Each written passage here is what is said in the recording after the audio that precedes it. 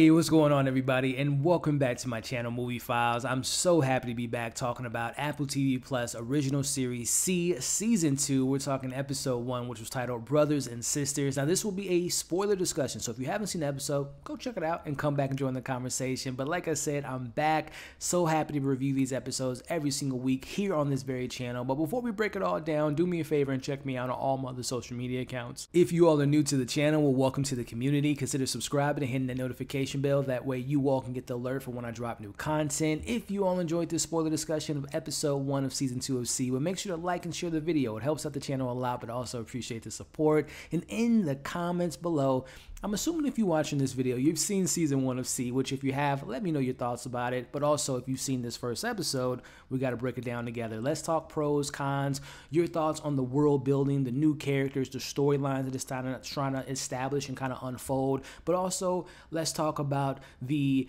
action moments, the kills that we get with Baba Voss, but also let's talk a little bit about your thoughts and your theories of what you hope to see in season two, and let's have a discussion about it in the comments. So, like I said, I'm back reviewing these episodes on a week to week basis, which I did, was it 2018, 2019 that season one came out, which just general thoughts of season one. Again, you can watch my previous reviews on each episode, but I really enjoyed season one. It had its flaws, right? For me, some of the story was a little bit lacking. Some of the secondary supporting actors weren't that great in some of their roles, in my opinion, but there were way more positives than negatives for me in that first season. Number one, the commitment to the actors, Jason Momoa, Baba Voss, the commitment to those actors portraying people without sight in this world that if you have sight you consider a witch. So i love the commitment from the actors but also i love the you know representing the, the blind uh, you know community and having them be a part of the show and bringing that authenticity. And again representation is so huge in apple tv plus coda. Now this you know I, I love what they're bringing to the platform but also, I can't go without saying the world building is great, the cinematography, the scope, the scale is there, but also I'm a big action fan, and uh, Baba Voss, Jason Momoa, my man, those kills in season one, the brutality, the velocity of the swords and the heads and the cuts and the blood and the fatalities were incredible. So I was really excited for season two, exploring the other worlds, other cities, obviously the relationship between Baba Voss and his brother, and, and, and just really diving deeper into this world. So I was really excited for it. Here we are talking episode one, season two.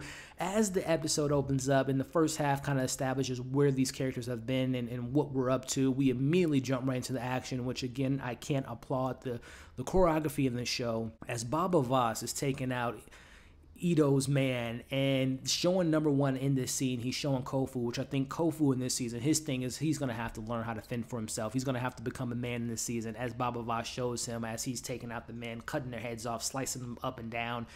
He slices the man's skin off of his arm first, puts the sword in his chest, and pushes the sword up through the top of his head. I mean, again, whoever thought of these fights and the choreography is fantastic because it's just top notch for me. But again, in this moment, again, it's Kofu. You got to learn how to fend for yourself, man, because only time will tell that you have to fight for yourself. And Baba Voss, daddy ain't going to be there for you. But nonetheless, this is where Baba Voss tells them they got to go their separate ways. Baba Voss has to save his daughter. In the meantime, Paris, Kofu, if I'm not back in seven days, I'm dead. But we'll talk about Kofu and Paris separating later in this episode. But meantime, going to one of my favorite characters who's just such a crazy character, Queen Kane. At this point, she doesn't appear to be doing well. She's throwing up, and we'll talk about her announcement a little bit later in the episode. But she has her remaining members of the army and, her, of course, her sister as they're making their way to Payan. And Going to a character I was really excited to explore. I saw the trailer and heard the announcement that Dave Bautista and Jason Momoa will be going toe to toe. I was so excited for that. And we meet him. He is the Commander General Edo, and he has Haniwa in his possession, has her captured as he learns of his brother's presence. He is on his way to save his daughter. So it's all kind of shaping up to seeing these brothers go toe to toe. But it's in this opening sequence to or opening moments of the episode where Haniwa meets, uh, I believe, the character character name was Rin, if I'm not mistaken. I don't know if they mentioned her name or not, but we see that, you know, she's keeping her captive, she's giving her food, but then Haniwa finds out that she has sight, which is huge because it means there's other people in this world that can see. And we'll talk about then another announcement that Queen Kane has in regards to people of sight. But let's go back to this this sight, right? As we learn from this character that her family that she doesn't she's not aware of anyone else that can see like her even though we saw another little boy that can see. So it's again it's like there's more people in this world that have sight that obviously they're hiding their sight because she tells Haniwa that even though her people don't believe in like the witchcraft if you can see you're a witch but she still feels you know they're still going to execute you because sight in this world leads to destruction because obviously centuries ago people with sight entered the world the hints to the show and all that good stuff. So it's really interesting to see this dynamic between those two characters. And they have some moments in this episode that to me spells that they're to probably come together. And this is probably a character we can look forward to meeting and learning more about. But that's kind of the first half of the episode as we transition to the second half. And this is to me with the second, this is really what gets me excited for the second season it's the world building, right? It reminded me so much of first season and also in this first episode the Game of Thrones, the politics, right? The, the, the people not trusting each other, the world building that establishes itself as we go to the city of Pensa, as it becomes the new capital of Payan and the kingdom. And it's it's more or less kind of like Westeros, right? So I'm loving all the kind of Game of Thrones. Again, the politics of Game of Thrones are some of the best. The world building is some of the best I've ever seen. So I love how this show, again, is establishing itself in the lore, in the world building, which is really setting itself up pretty well in this first episode. But let's go into the two sisters here as they make it to their destination and Magra is returned there and people are like excited to see her. Oh, the princess is back. And we see that hatred, that jealousy that her sister has. But we also see, going back to my Game of Thrones kind of comparison, the plotting of the backstabbing and, and the politics and, and the control of the kingdom, right? As we see the sisters have to worry about these two brothers as we meet this new character, Lord Harron and his brother seem to want to have control over the kingdom. So let's talk a little bit about Lord Harron as he begins to question the attack of Queen Kane's last destination. And he's starting to, again, planting the seeds to have these sisters go at each other. Does that sound pretty familiar? The Stark sisters, as hopefully maybe these sisters will team up and take out these brothers. But that's something to maybe talk about in future episodes. But meanwhile, Haniwa is fighting with Wren, and she ultimately gets the upper hand, has the opportunity to kill her, but she doesn't, which again goes back to me saying I think that these two characters will partner up together and eventually work with each other and we'll meet more people that have sight. So let's go to Paris and Kofu as they're chased down by witch hunters, which I'm like, oh no, things are not going to turn out well. But we learn that these witch hunters are actually sent from Magra as they have to ultimately decide.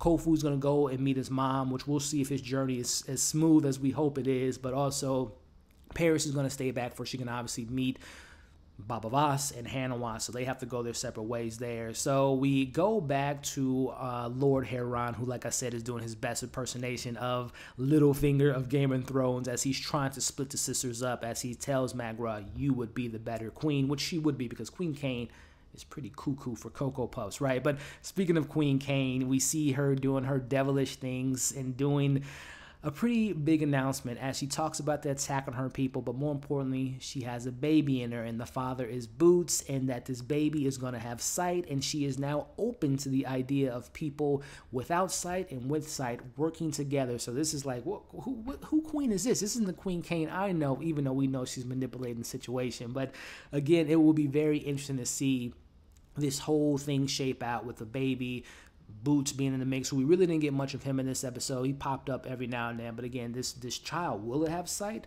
Only time will tell. But again, Queen Kane, she is fantastic. But let's go back to my man Baba Voss as he literally goes through hell to find his daughter. He uh, it appears that he's been betrayed, but you know, to these men, Smitty his men, they think that they got Baba Voss. Baba Voss takes him out pretty easily. Again, the action this show is so fantastic. He's just the master of kills. He's got the sword again, more of the necks being split. There was a particular kill where he literally put the the, the throat he had the knife and stabbed it slowly in the man's head, tossed him on the ground. The knife goes out on the other side of his head. Again, the choreography in this show is so so damn good, but ultimately, unfortunately, Baba Voss is over overtaken by the uh, the people of the the town and the soldiers, and he's captured ultimately. Which we wrap up the episode with Paris being by herself, but she comes across this group of people. I don't know if these are people of sight, if these are you know wanderers only time will tell in the weeks ahead. But we end with the moment I've been waiting for, which is Baba Voss and his brother Edo as they have this conversation. You can feel the tension in the room between these two guys. Again, Dave Bautista is such a great actor. I love what Jason Momoa has to bring. And again, the tension, you can feel it there. But we end with Edo having the conversation because we obviously learned that in this episode that Baba Voss is responsible for the death of their father, and Edo has been looking for him for 25 winters, and he now has him in his possession.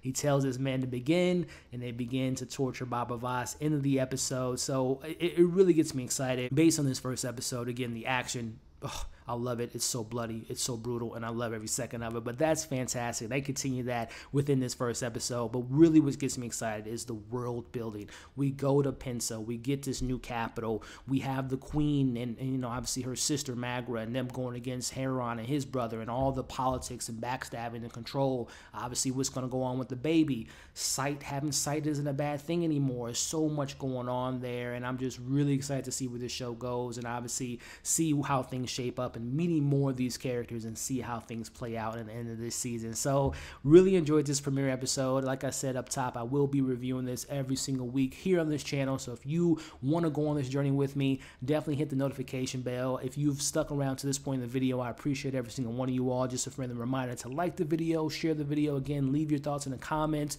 and of course, subscribe to the channel if you haven't already. Hope you all enjoyed this review. Hope you're staying safe and we'll see you on the next video. Take care, everybody.